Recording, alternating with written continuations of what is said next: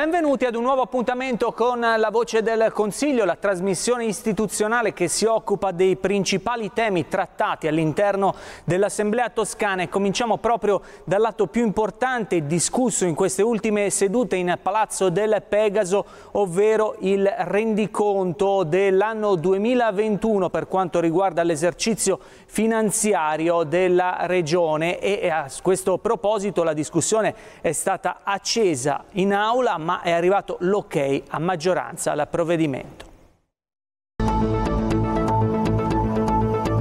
È stato approvato a maggioranza il rendiconto generale per l'anno finanziario 2021 della Regione Toscana. A illustrarlo all'Aula del Consiglio regionale è stato il vicepresidente della Commissione Controllo Andrea Pieroni, che ha ricordato il prezioso contributo fornito dalla Corte dei Conti nel ruolo non solo di mero controllo, ma anche di ausilio tecnico, prodigo di raccomandazioni e di rilievi critici, sempre nell'ottica del dialogo costruttivo. Ma il rendiconto generale 2021, se considerato anche rispetto al quadro, al contesto in cui l'esercizio finanziario si è svolto, cioè in, con una pandemia che ha colpito duramente anche il nostro territorio, eh, presenta conti che sono buoni, che sono accettabili, che anzi rispetto ad alcuni valori sono in netto miglioramento rispetto alle situazioni degli anni precedenti. Il risultato di esercizio, il risultato amministrazione chiude con 346 milioni eh, di positivo, c'è una tendenza anche al recupero di eh, le vicende pregresse che sta continuando e che pone anche il bilancio della Regione in terreno di sicurezza. Ci sono altre partite, quelle del costo del personale, eh, degli investimenti che segnano eh, valori di assoluta coerenza con quelle che sono le disposizioni normative.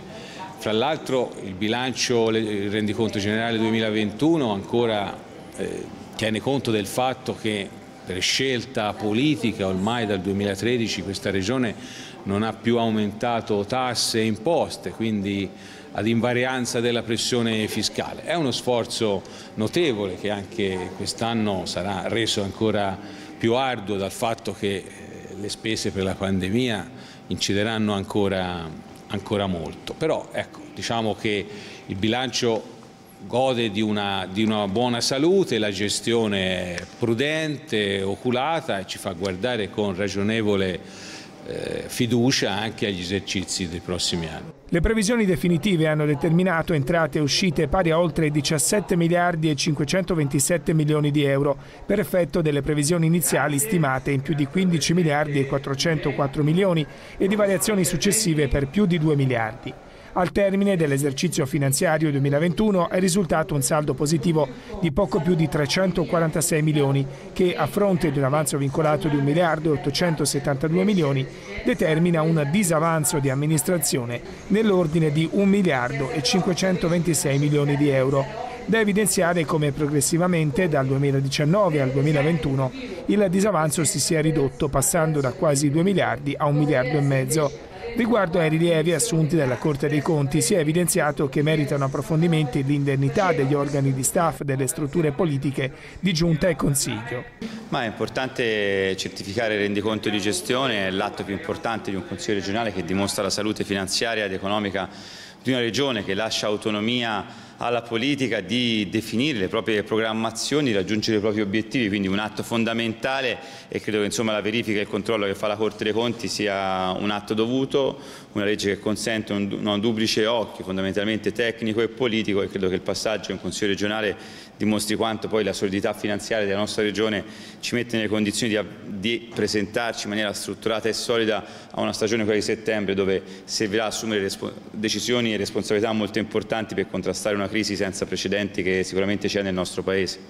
Ma molte partecipazioni proviamo anche a venirne fuori, dobbiamo consentire al mercato di avere delle opportunità, di giocare una partita nuova dove la Regione ha svolto negli anni un ruolo che magari oggi non le compete più per, il cambio anche del mercato e della normativa. Nel contempo il quadro sanitario sta rientrando diciamo, nei canoni della normalità dopo gli effetti del Covid che sono innegabili, c'è stata una parte di aiuto che è arrivata dal governo Draghi fondamentale e poi c'è credo un bisogno, una necessità, un equilibrio, tenere i conti in, eh, in, equilibrio, questo è il dovere delle nostre aziende sanitarie ma che credo che insomma, in questi anni hanno dimostrato di saper fronteggiare una crisi, di mantenere un livello e uno standard alto dei propri servizi e credo che questo sia comunque un elemento positivo per la nostra Regione. Il presidente della Commissione Controllo, Alessandro Capecchi, ha invece puntato l'attenzione su alcune riflessioni dal sistema della contrazione dei mutui, quindi dalle criticità in sanità, nel rapporto tra Regione e ASL, alla questione delle società partecipate, nonché alla sospensione di giudizio della Corte sui capitoli di spesa riguardanti gli emolumenti al personale di supporto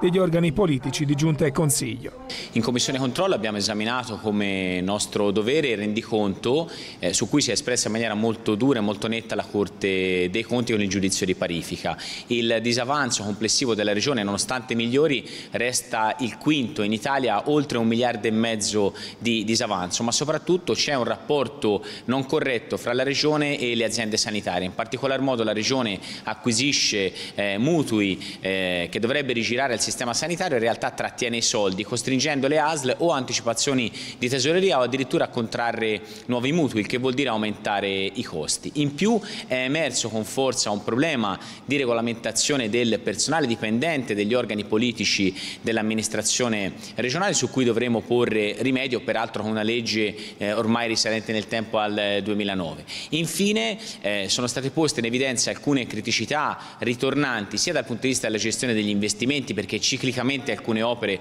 vengono messe nel piano degli investimenti ma in realtà non trovano mai eh, attuazione e soprattutto problemi relativamente sia al riconoscimento di legittimità legittimità dei debiti fuori bilancio utilizzando dei fondi non corretti, ma soprattutto il rapporto con alcune società partecipate che presentano situazioni economico-finanziarie particolarmente complesse. La questione del personale è una questione delicata, la Corte dei Conti contesta l'applicazione di un'indennità che in realtà non sarebbe ricompresa nel perimetro della legge nazionale cui eh, secondo la Corte dei Conti compete in via esclusiva la normativa relativa ai pubblici dipendenti, per la verità secondo noi c'è eh, eh un equivoco di fondo perché il personale dipendente degli organi politici svolge ben oltre i propri orari di lavori con rapporti di fiducia eh, molto stretta i propri compiti e quindi dovremo trovare, dovranno trovare gli uffici della Regione eh, le norme utili a superare le eccezioni della Corte dei Conti. Sì, siamo stati pochi giorni fa ad ascoltare proprio le parole della Corte dei Conti e per quanto riguarda il rendiconto abbiamo appunto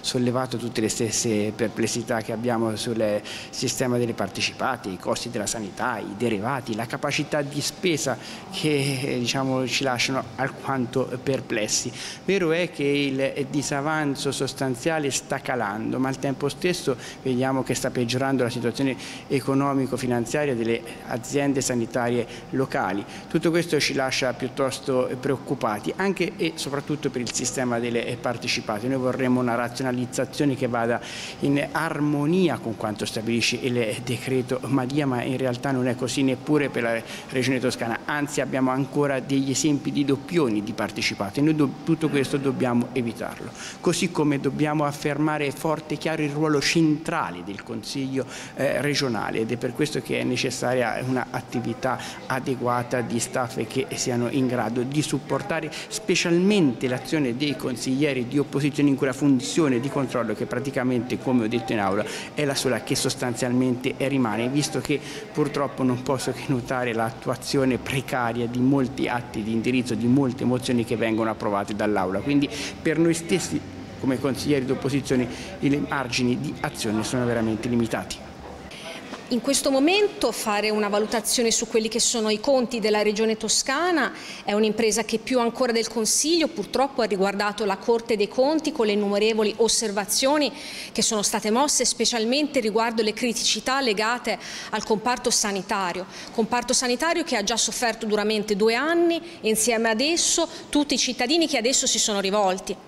e quindi credo che fondamentalmente il giudizio negativo non è espressione di una visione politica, ma oggettivamente di un'azione che è stata portata avanti in maniera, come più volte abbiamo detto, ehm, disordinata e delle volte eh, poco concreta e legata a interessi e questioni che poco avevano a vedere con gli interessi primari che invece la Giunta avrebbe dovuto tutelare.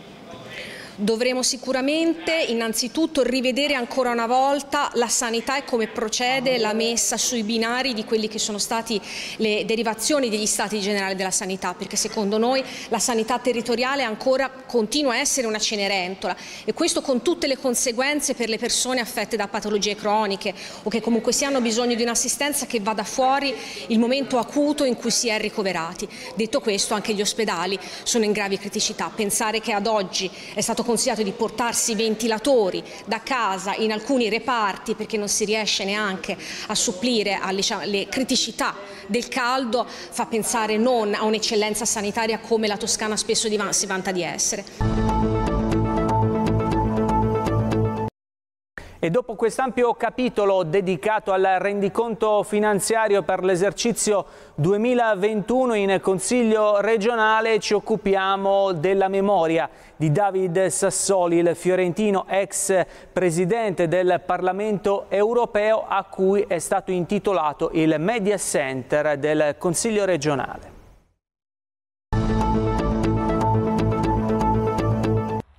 È stato intitolato a David Sassoli, il presidente del Parlamento europeo scomparso l'11 gennaio scorso, il nuovo media center del Consiglio regionale della Toscana.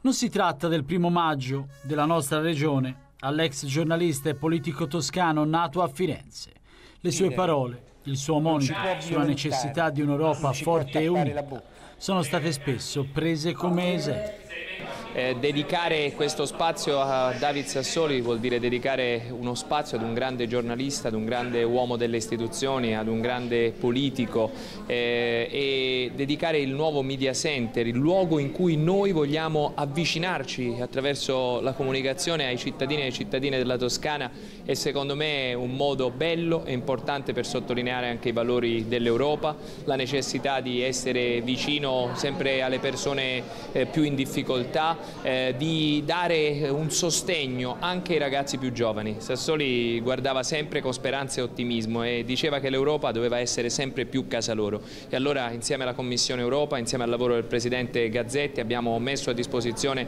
tre borse di studio per premiare migliori, i migliori progetti che riguardano proprio il ruolo che può avere anche la Toscana in Europa. Una giornata bella, una giornata emozionante, una giornata che segnerà un pezzo di storia alla nostra regione. Ringraziamenti per il Media Center sono arrivati dalla moglie di Sassoli, Alessandra Vittorini, che attraverso una lettera inviata a Mazzeo si è detta profondamente onorata di questo importante riconoscimento. È una giornata dove si contrastano diversi anche sentimenti perché eh, chi ha visto anche il video introduttivo eh, si è emozionato, io mi sono emozionato, non mi vergogno a dirlo e soprattutto a evidenziare il legame forte che c'era eh, con David, ma non soltanto come uomo politico, eh, io come voi sono un giornalista e quindi David ha rappresentato ehm, una personalità che ha saputo entrare nelle case degli italiani, come si suol dire,